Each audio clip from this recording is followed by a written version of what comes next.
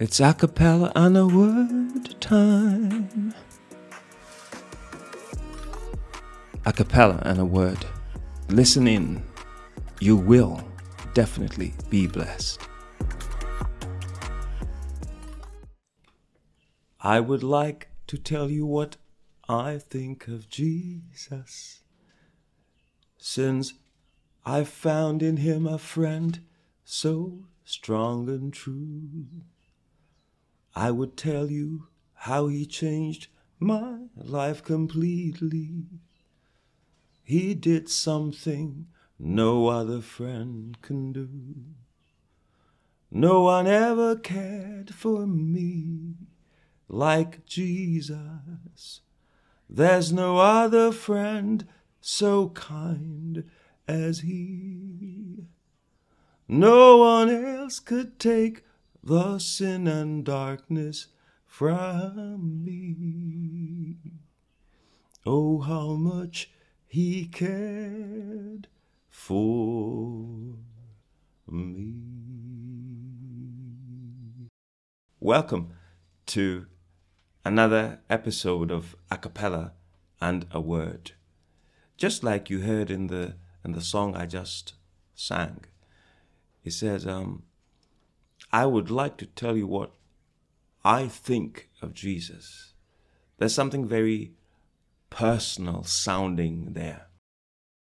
It has to be, like we say, a personal pu na mpu experience with Him.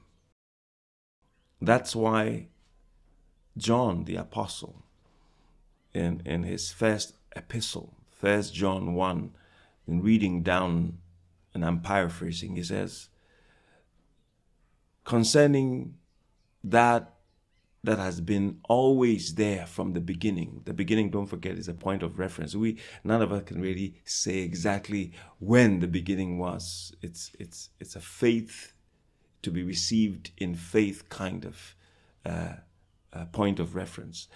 That which has always been there from the beginning with the Father Jesus Christ. We, the word of life, we, he became flesh. He appeared in the flesh. We encountered him. We touched him. We ate with him. We walked with him. And he with us. In short, we experienced him personally.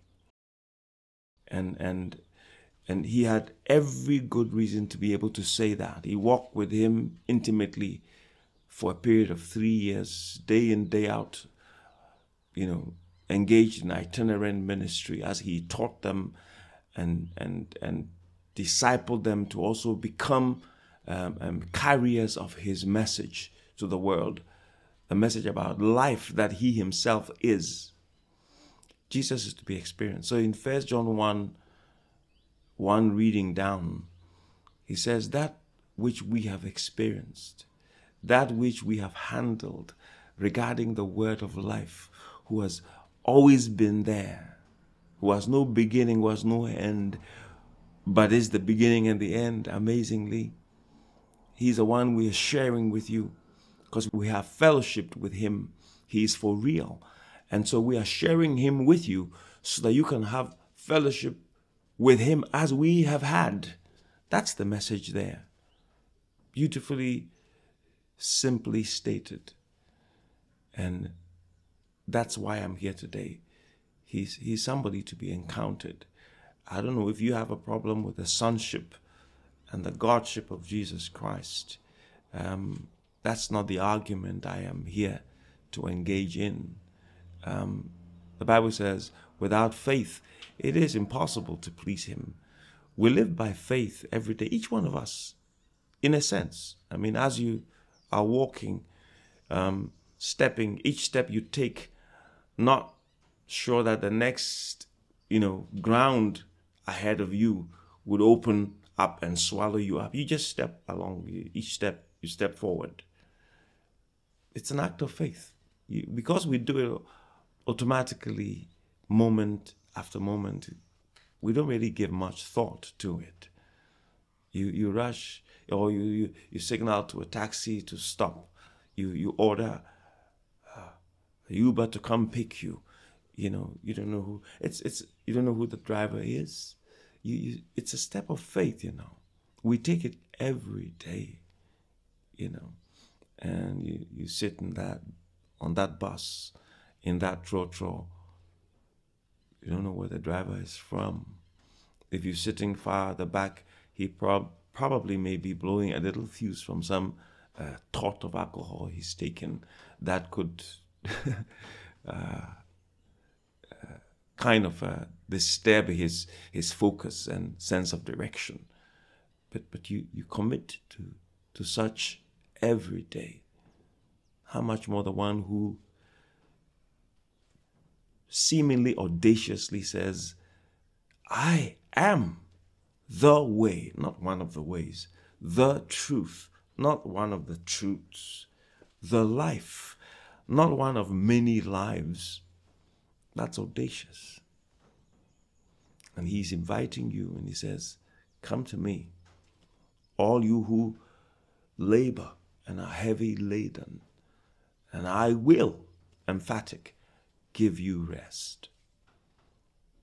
So I'm today I'm I'm daring you. Maybe someday we'll talk about your challenges with who you think Jesus is. But I'm here to tell you about the Jesus who is a very personal God.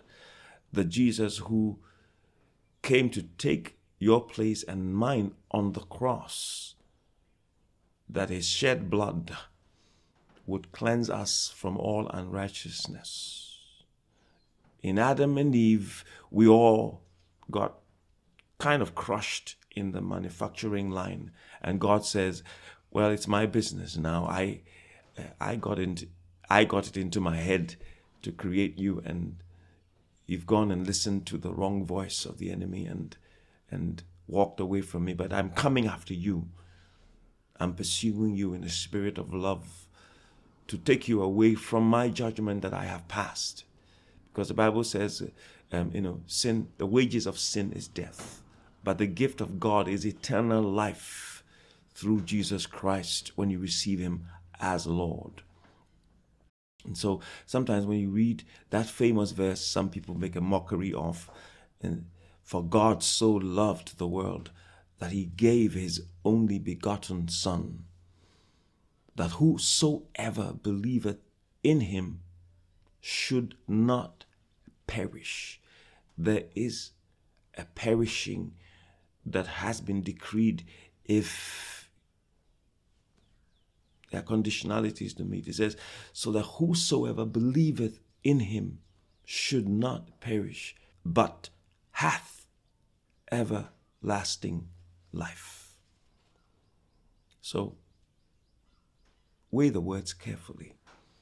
It's a God who comes after you in love and says, My justice, my holy justice, demands that a price be paid for the sin of disobedience, of wanting to walk your own way. And if you respond to that price that I chose to pay, and I only I could pay in the person of my son Jesus, then that perishing is set aside eternally, and you have eternal life. I'm inviting you today to ask Him to come be real to you. Um, you may have questions. We all do. They would be answered in time. The Apostle Paul says, from each moment to moment, we, we grow in knowledge. We, I am content with the knowledge I have at this moment. Now we see through a film darkly, but there's coming a time when we'll see, we will see clearly. So, with what you have heard today, the little you have imbibed today, I'm, I'm asking you, would you like to invite Jesus into your life? If you would like to invite Jesus into your life, you can say this prayer along with me. Lord Jesus, I haven't figured everything there is to figure out about about you. But if you are for real, please come into my space and show me. I'm not daring you, I am sincerely looking for you to come be real to me. Your claim that you are the way, the truth, and the life. I would like to experience it personally. So I'm inviting you today. Come help me make some sense and meaning of this thing called life. I acknowledge your Lordship. I dare to acknowledge your Godship because you did say that I and the Father are one. And I acknowledge that you died on the cross so that your shed blood would cleanse me from all unrighteousness. But above all, acknowledge that you are alive. And I want to experience that aliveness for myself so that I can dare to share you with others also. Thank you for hearing me. Amen. If you said that prayer with me, I, I have no doubt, if you did so in all sincerity of, of spirit or of heart, that you will encounter Him in a way that hitherto you have never done.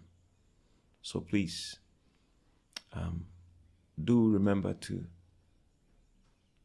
maybe share your experience sometime that when I said that prayer, something happened in my life. My life began to take a more meaningful course. All right? So, I, like I always like to do, I would like to just say a prayer if you don't mind. If you just kind of, with your right hand, connect with this hand. Let's pray. If anybody has a, a condition that only the Lord can take away, because medicine has tried all, it, it isn't working. Pray with me. Father, as this brother and sister join faith with me, I rebuke every disease and I say, disease be gone in Jesus' name. And let the wellness and the wholeness of the healing that comes in the name of Jesus be my brothers, be my sisters. Amen. All right. So until we connect again uh, on another episode of a cappella and a word, it's bye for now.